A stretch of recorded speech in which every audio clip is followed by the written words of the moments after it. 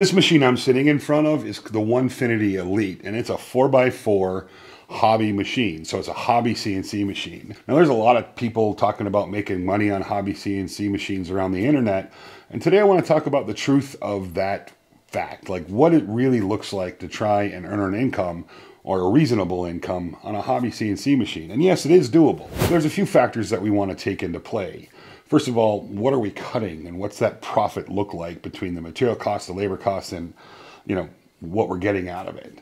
I also want to look at how I would set up a CNC machine. So we're going to show you how we set up this machine for basically production. It's going to run production for us for a sign business or a side sign business that we accidentally kind of fell into with our bigger CNC machine. When Maggie and I had our big CNC machine, we mostly just cut parts for other manufacturers, for ourselves, for our tools the, there's a lot of money in just making small parts, and that's really what that machine was designed for. But when we decided to kind of retire or slow down, we got rid of the bigger machine because we didn't really need a machine that was designed for production in the shop. Now, one of the things that had happened is some of our business owner friends and some of the clients we did work for would occasionally ask us to make signs for their businesses. And we started doing that. And the material we were using is this stuff. This is HDPE Color Core. So it has different colors on the face and then the center and on the back. Now you can get it like this with just the two colors and the three sandwiches, or you can get it to like up to four different colors and different thicknesses. So it's a really versatile material. One of the other things that we did a lot was the same thing, but with like a brushed aluminum or a painted aluminum on a HDPE substrate, something. And we started doing this quite often, and it turned into a pretty lucrative little weekend side business because it didn't take much time, and we were able to turn a tidy little profit on that just by working a few hours on the weekend. So much so that that's one of the things we didn't want to stop doing. Now, we took a break from it, but now that we're all set up with the Onefinity, we're going to get back into doing this right away. Now, some of you may remember these. We kind of got into this after we found this material and started doing work for other people and we started making some signs for ourselves that we sold online. Now, the one downside to HDPE color core like this is it is expensive. It is no joke. But that said, that's a cost that gets passed on to the customer. And you can't beat the quality, the durability, and the look. And it's good for indoors or out, so it's pretty versatile as well. We'll talk more about the HDP and how we're using this towards the end of the video and start talking about some numbers, like some real numbers. But first, let's jump into the Onefinity and look at how we set it up for production and also a little bit of fun. The base was actually pretty simple. We built up we milled up some maple and then we created two pretty beefy sides. Now, my buddy Mark came and helped us put this together, so big thank you, Mark. I really appreciate all the help that you gave us. Now, each side was put into position, and then we used some stretchers across it. And these are deep stretchers, so they're like one and a half inch by like six and a half inches. And then we screw those in from each side, making a really stable base. Now, because this is just a business machine for us. We're not going to put a complicated hold down table. We're not going to do any of that. We're just screwing material directly to the substrate. So the MDF that we use for the top, it's just getting screwed down. One of the big reasons that we decided on the Onefinity is because it is a beefy, beefy hobby machine. It's got really thick rails, it's ball screw driven, and the gantry on this machine has three linear supports, so it is really strong, which means we're going to be able to run this machine at pretty significant speeds. And, you know, everybody knows the faster you can get something done, the more money you're going to make. The, that old adage, time is money, has never been more true, especially in the production world. CNC together is so easy. In fact, Maggie and Mark did most of it. It was just a matter of setting both the rails in place and getting those bolted down and then setting the gantry on top of that bolting that down. And each position has four bolts, so it's not like you're going to spend all day with little bits of hardware and, and fussing around. Once everything was bolted together, Maggie went through with the wiring, which is really well marked and super easy to install. You know where everything goes. In fact, it's just like a socket fit. You just push in the wiring and you move on to the next. The other big reason that we picked the Onefinity Elite was the new Masso controller that they're putting out. The Masso controller for this system is absolutely freaking amazing. When it comes to user-friendly UI or user interface, the Masso is about one of the best I've seen on a hobby machine.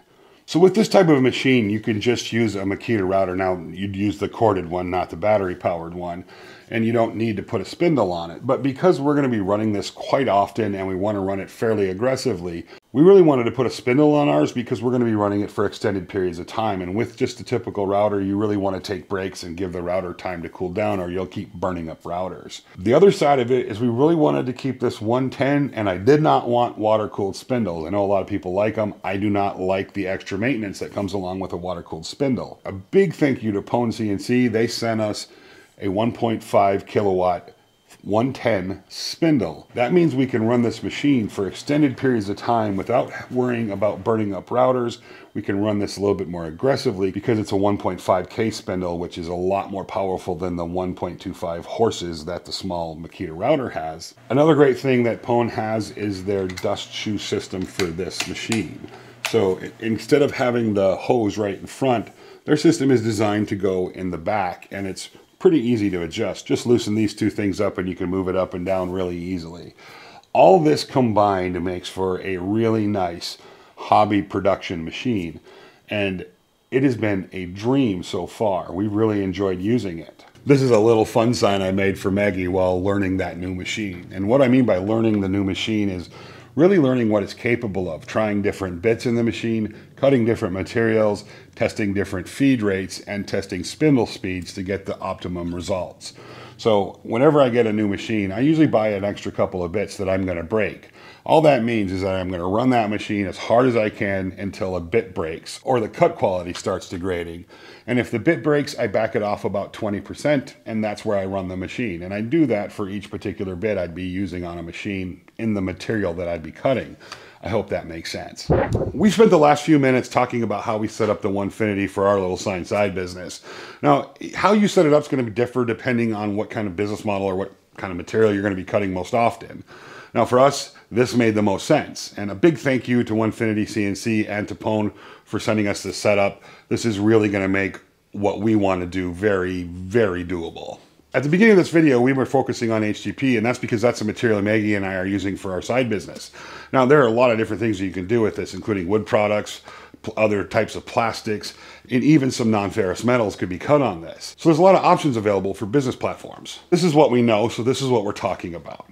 And I wanted to give you guys some ideas of numbers, like real numbers, what we can expect to make using this machine to make signs. So we're going to talk about what we know. Before we jump into numbers, I want to preface it with these are just numbers. So we're talking about what the machine is capable of cutting, what the potential is using HDPE for making signs. And remember, this is a hobby thing that Maggie and I do on the weekends. It's not something we do full time. We really don't have any interest in getting out in the world and marketing ourselves as a sign company. But if somebody was willing to do that, there's a pretty substantial amount of money to be made doing so. But it takes work. Owning a CNC machine and cutting some signs is not going to sell signs. You have to get out there and sell in order to make money with a machine. That said, let's talk a little bit about the numbers that you could expect at least for what we can expect here locally by making signs with this material. The cost of this ColorCore HDP quarter inch, so you know, yellow, black, yellow, and other colors in that realm, is about $130 a sheet. So roughly five, six dollars a square foot, which doesn't sound terrible unless you're buying seven, eight, ten sheets to keep in stock so you can make your signs quickly. Then that number can get pretty big. Now, if you jump up to like three quarter inch material, same stuff, you know, different colors, obviously it's more expensive. Three quarter inch stuff sells for over $400 a sheet, and you charge accordingly. Locally, there's only one other sign company that I know of that's cutting HDP color core for signs for people or doing custom work. And they charge roughly 35 to $40 a square foot for three quarter inch signs. Now, those are rough prices and it's going to depend on artwork and all those things, but you can figure that's about the average price. So if this is only costing us five or six dollars a square foot, and we know that we can get competitive prices at 35 to 40 dollars a square foot on custom work, if we come in at $30, we're under everybody else. And that's still a pretty significant increase in material costs. So we get some serious profitability there. The one thing to keep in mind is that there's other costs involved, like running the machine, maintaining the machine, bit cost, cost of bits, those things. So we always tack on another $4 per square foot.